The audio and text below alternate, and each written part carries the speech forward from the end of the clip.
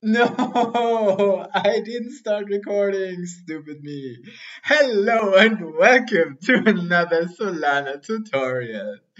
I keep learning stuff, so I want to keep sharing stuff with you. And yes, I've said this thing before, but I did not record.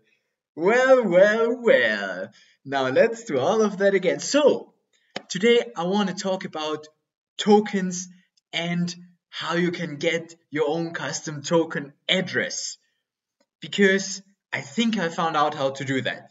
Now, you might have seen that yourself before on projects like uh, Star Atlas. If you look at their Atlas token, yes, I've already Googled it before. Now we're just gonna look here in the Explorer.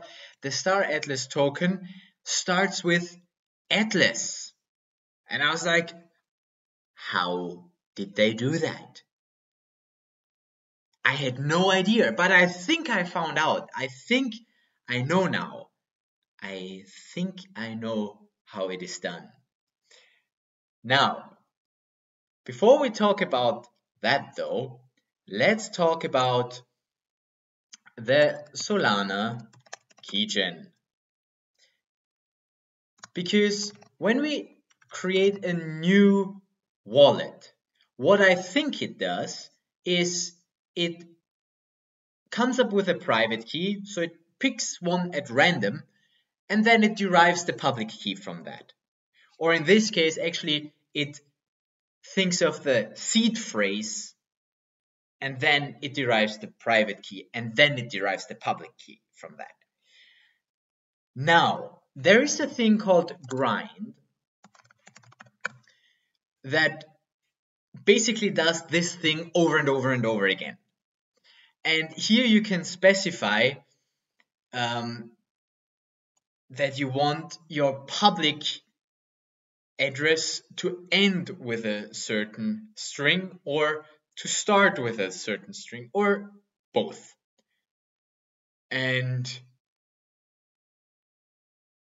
this then basically goes through a lot of private keys until it finds one that has a public key that matches that criteria.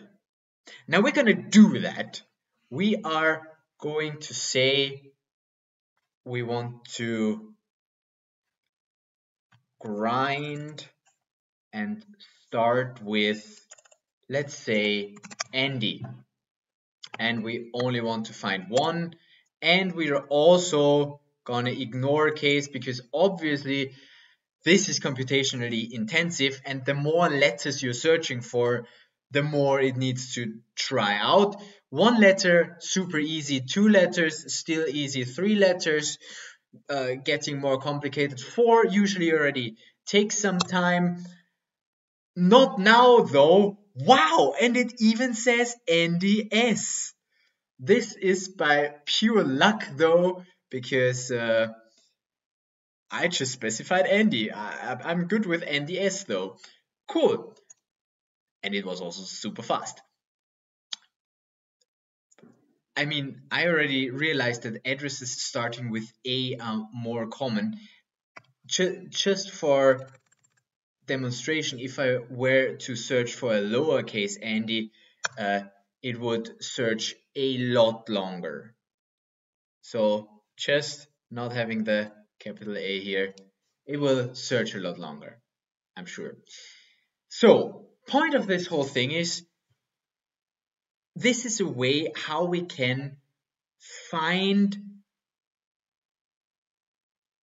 addresses like wallets private keys, private key, public key pairs that have, oh my poor computer, that uh, have a certain public key, right? Where you have a certain public key. Now, I'm pretty sure that it's not gonna find that anytime soon because four letters um, with uh, case sensitive, especially if we start with a lowercase a, this is just gonna this is just gonna take too long so we're not gonna do that um, but we are going to search for just to demonstrate that it then takes longer, let's say Andy T for Andy token. There you go. You have the Andy T and uh, the rest is random. Obviously, now if you're thinking, well, this way I could find the private key to a specific address if I just specify the entire thing as the prefix. But again, if you want to find more letters, it gets more computationally intensive really quickly. So if you want to find the entire address, the, I mean, that's what the security is based on, right? That nobody will be able to do that with the computers that we have today. Otherwise, you know, the whole the whole uh, concept is worthless. Anyhow, we have those JSON files now. They are basically just a file containing a few numbers. We can actually uh, have a look at them um, what was the comment uh, for? God damn it! What was the comment for showing in Windows? It the the cat equivalent. I can't type. More on Andy S. There you go. Never ever, ever, ever, ever, ever show this to anyone. Just don't. Just don't. Do not. Do not do this. I've made this mistake several times in the past that I put my private keys in my YouTube videos, and here you go again. But uh, I will make sure never, ever to use this uh, public uh, address uh, NDS into Mac. I mean, it although it sounds pretty cool, but I can never ever again uh, use this uh, for any real purposes because you now know my private key. I mean, not yet because I have a part of it off, but I'm gonna show you the entire thing because I'm gonna show you something cool. If you want to add that to your Phantom wallet, then you can easily do that. Uh, what's my password? By clicking add and then input from private key and then the Andy don't ever use this whatever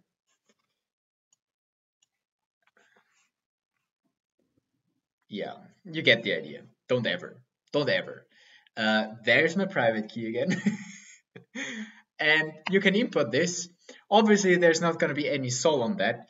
Um, and because I cannot be bothered uh, to get myself some sol on this address, I'm to just go onto the devnet and then we're to use this address here as well.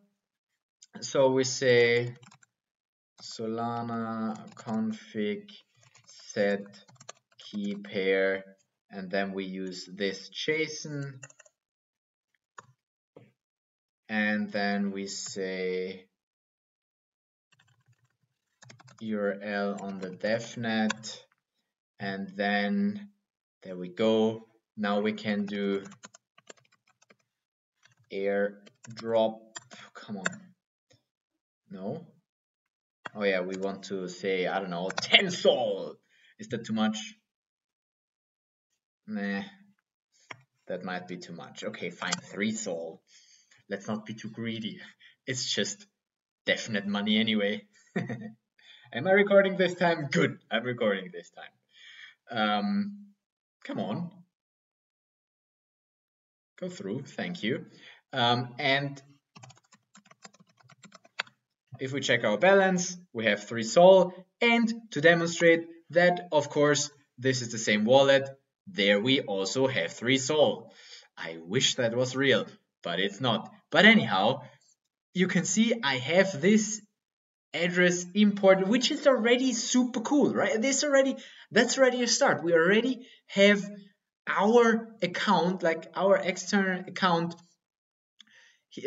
which is a wallet, uh, we managed to import it. And it's cool. It's cool. It's cool. It has a cool address. If you ever want to, uh, I don't know, have have your wallet address start with something specific, you know, that's one way to go. Anyhow, um, we wanted to find out if we can do the same thing with a token. And I haven't actually tried it, but last time when I was teaching somebody how to use the SPL token library, which I do quite a lot because a lot of people ask me about it because that's my most popular video lately. Um, the SPL token create token actually has token key pair. When I when I explained this, what it does, I saw token key pair as an optional argument here, and I was like,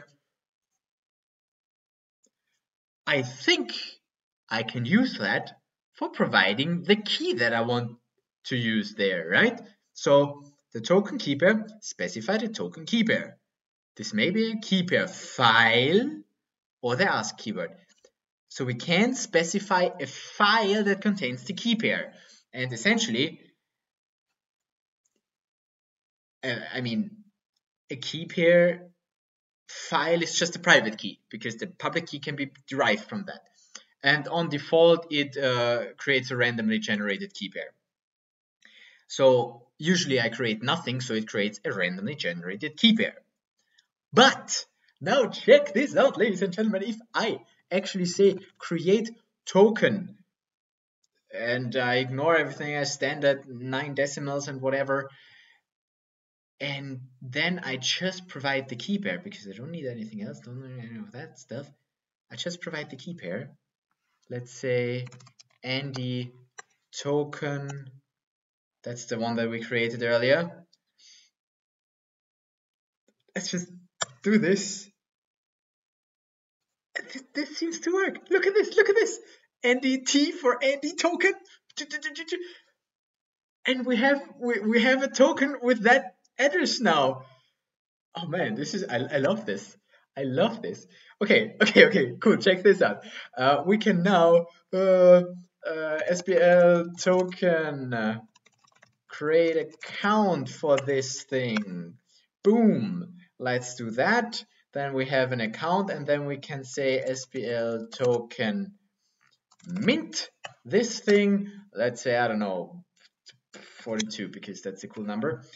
And then, ladies and gentlemen, we now, if we look in our wallet here, we have an unknown token, but it starts with NDT. NDT.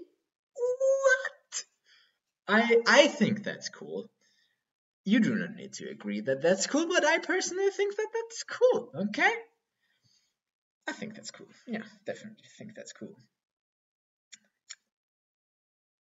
And that's everything that I wanted to show you today.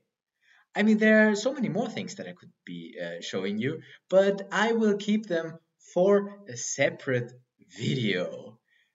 I mean, if I mean, this just it's just so cool to play around with Solana. If you have any more questions, uh, drop them in the comments below or better in my Discord because the chances of me replying there are a lot higher. If you really want to get my attention, uh, start your message with, Hey, I bought your NFT. How you can do that, uh, watch the last video. And uh, then I definitely reply to you if you if you hold my NFT. Um, I usually reply though, but I don't usually help everyone, especially if they just want my help and don't give anything back. But anyhow, isn't it nice to play around with Solana? If only I had more free time, I could do. Oh, is so cool! So cool! I just, just love that. I have 42 ND tokens. It doesn't even have a name. It does not have a name. Of course, I could go through the process of uh, you know naming it. Although now it's on the DevNet, so we don't. We're not going to do that.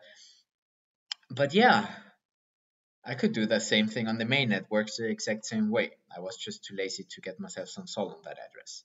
And also, uh, let me remember to delete this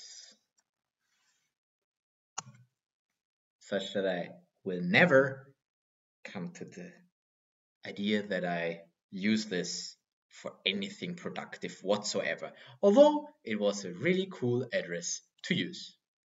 Now, you go play around with Solana or, or anything else that interests you. But I mean, if you're watching that far, then probably it is Solana and tokens. And uh, yeah, learn about that stuff because I think the future is gonna have a lot of that. A lot of that. I'm, I'm pretty bullish on Solana. Now, in any case, I should I should stop it.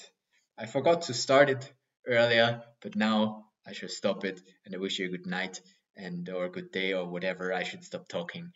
And I really hope that you have as much fun with Solana as I have. Peace.